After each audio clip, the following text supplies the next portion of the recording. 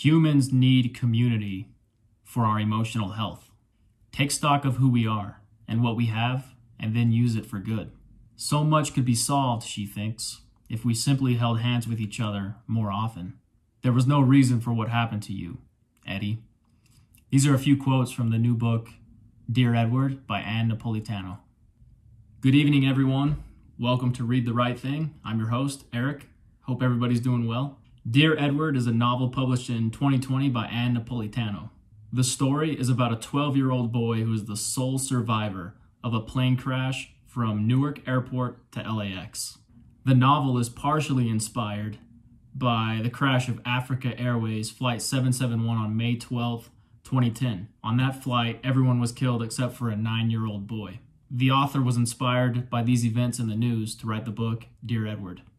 The book opens with Edward and his family going through the security line in Newark Airport. If you fly a lot, you've probably done that. Simple, everyday task that people just kind of mindlessly go through. We meet Edward, his brother, and his mom and dad. In just a few pages, we really get a sense of who these people are, which is a credit to the author. We get a glimpse into how they act, their personalities, what they care about, things like that.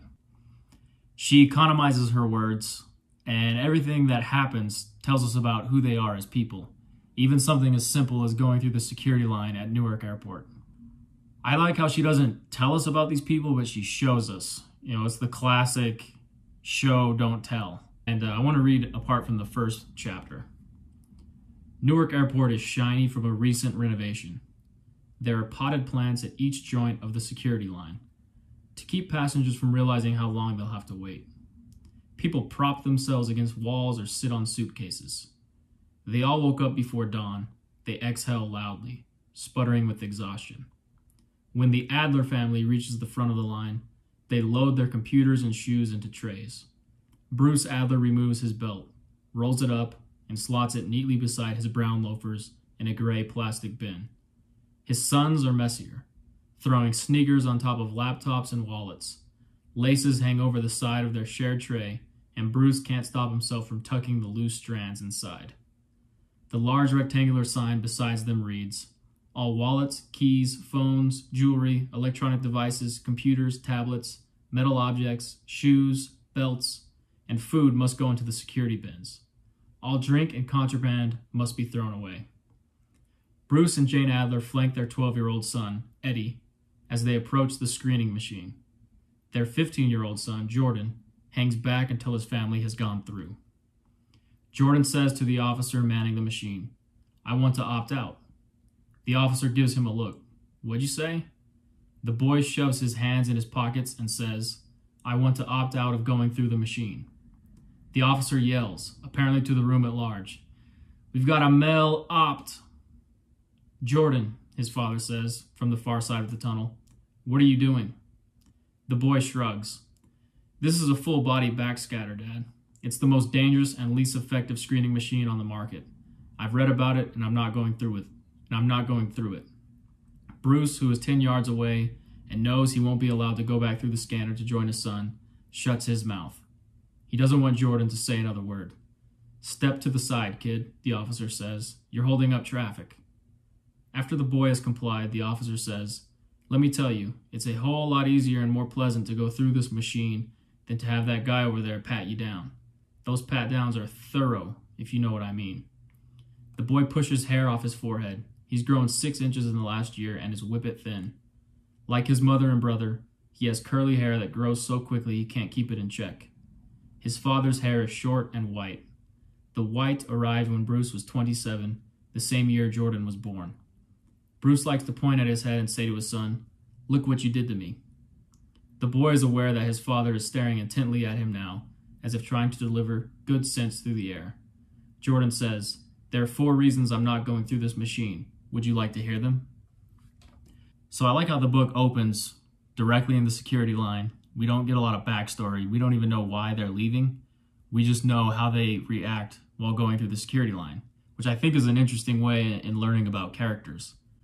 You know, how does someone act going through a security line? The father is very neat and he folds everything. He's very orderly. And his oldest son and his youngest son Eddie are the exact opposite. They just haphazardly throw things in, and his oldest son doesn't even want to go through the security checkpoints. So he's kind of at that age where he's he's learning things, he's gaining opinions for himself, and he's going to voice those opinions. The novel has this postmodern, fragmented narrative, uh, which I always find enjoyable. The fragmented narrative means the sequences are jumbled up. There is no linear storyline going from A to B to C. Fragmented narratives, they completely reject, you know, the traditional flow of beginning to middle to end. It doesn't follow the plot chart you probably learned in middle school or high school. Sometimes these fragmented narratives, they can be difficult to piece together. You know, it's like a challenging puzzle that the reader has to connect. They have all these jumbled up pieces, and it's the reader's job to really connect this story as a whole. Think of Quentin Tarantino's Pulp Fiction. On first viewing, you don't know exactly what's going on. The narrative of Dear Edward, however, it's not it's not hard to piece together. You always know where you are and what is happening. The story switches from the events leading up to the plane crash to after the plane crash, and Edward coping with being the sole survivor of the crash. Edward is really forced into this new life. He loses both parents, he loses his brother, he no longer lives in his old apartment in his old neighborhood in New York City, but now he lives with his aunt and uncle in New Jersey. After the plane crash, Edward becomes an instant celebrity, but he's not necessarily ready to be one. Edward moves to New Jersey with his aunt and uncle, and they try to help him heal from the tragic event. While living with his aunt and uncle, Edward befriends a girl named Shay who helps him get through trauma, school, and life. Shay is his next door neighbor and becomes one of his best friends. Shay is probably my favorite character of the book. You know, she's supportive of Edward, but also doesn't baby him kind of like his aunt and uncle do. You know, she'll call him out on his bullshit, but also be his biggest supporter. You know, you love characters like that. While, while Shay and Edward are rummaging through a shed one night, they find a duffel bag full of letters to Edward. The letters are from family members of the people who died in the plane crash. Some of the letters encourage Edward, they encourage Edward to live life to the fullest to honor the deceased from the crash. Some letters even ask him to do something that the people on the plane had hopes to do, like paint or visit the Great Wall of China or even go to law school, things like that. And I started to think about if I myself or if I knew someone who died on a plane crash and there was one sole survivor, would I want to seek that person out? Would I write them a letter or would I try to talk to them what would I ask them? Would I ask them if they had any contact with my loved one? No, I don't know. It's kind of an interesting question. Dear Edward, it's a book that'll make you laugh, it'll make you cry, and it'll make you reflect on the fragility of life, that it can be taken from us in just an instant. It'll also make you reflect on what the human spirit can overcome. Sometimes I hesitate to read these newer books because I feel they have less value than the classics. If you only have a certain amount of time to read, shouldn't you read something deemed more worthy? Possibly. But some newer books, I think they are the right thing to read. A book like I read a couple years ago called Beartown. That was enjoyable and well written. Or even a few books I read in college, they came out in the last 10 to 20 years. So I think there's real value in reading, you know, current current literature there are definitely benefits to reading this book. Just because something is new doesn't mean it won't change your life. I I think that's something I'm going to work on. I want to read newer books because also it's interesting because they're new. You know, no one has opinions on them until they come out. I think books are definitely meant to evoke emotions, and this book definitely did this for me. That's my review. This book was definitely the right thing for me. So I want to hear from you. Did you read Dear Edward? What did you think of the book?